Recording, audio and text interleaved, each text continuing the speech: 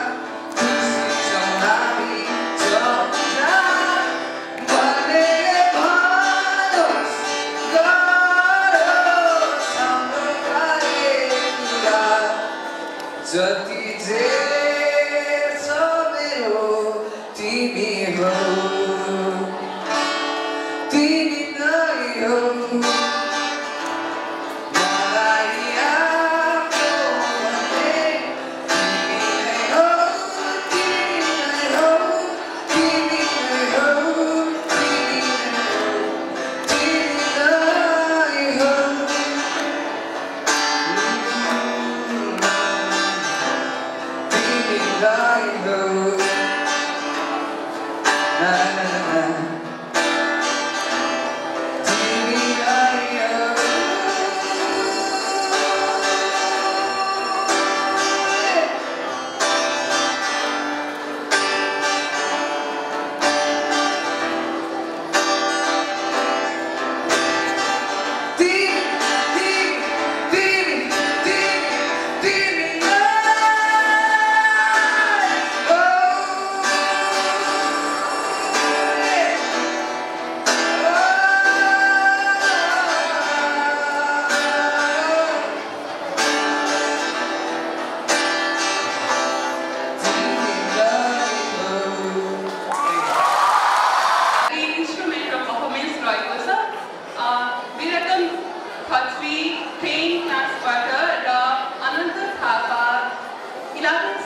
Kristus biti hin si baru malu.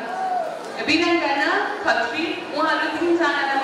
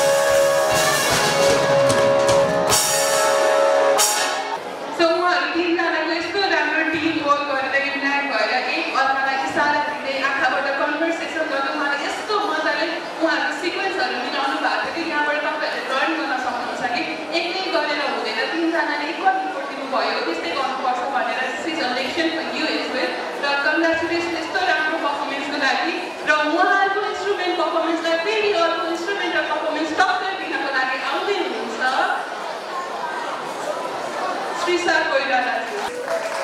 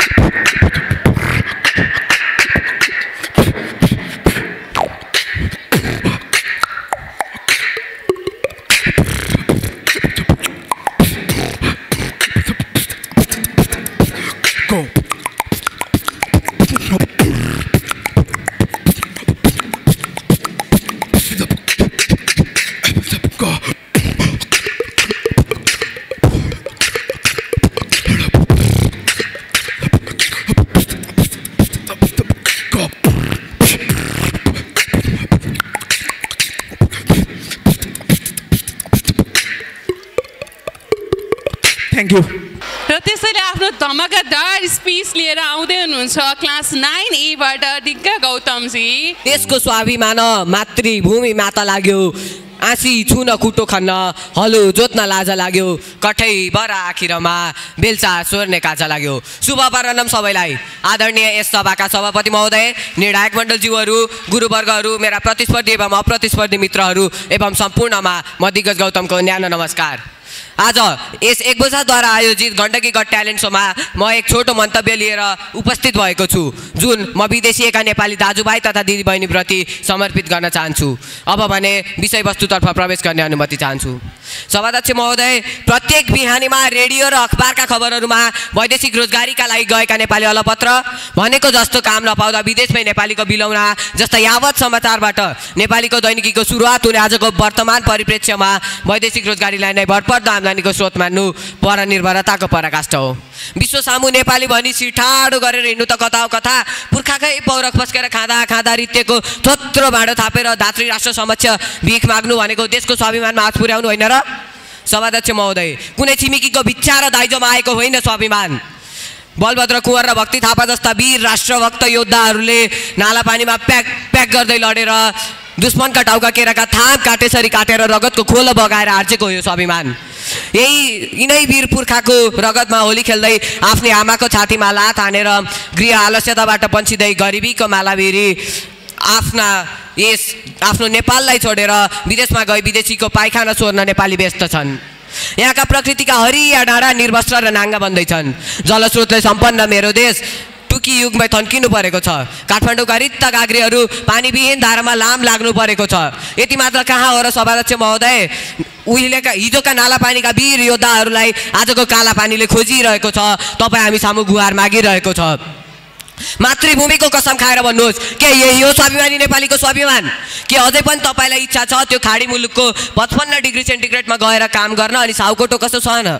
सभाध्यक्ष महोदय आदिम ऋषिमुनिहरूको तपभूमि प्रकृतिको क्रीडाभूमि वीर योद्धाहरूको जन्मभूमि मेरो देश धार्मिक र सांस्कृतिक विविधताका बीच अटुट एकताको अविरल प्रवाह प्रवाहमान मेरो देश जसले विश्वलाई नै आकर्षित गरेको छ भने हामी नेपाली कस्तुरी चाहिँ भौतारिँदा विदेशीको पद्दामा फस्न पुगेका छौँ।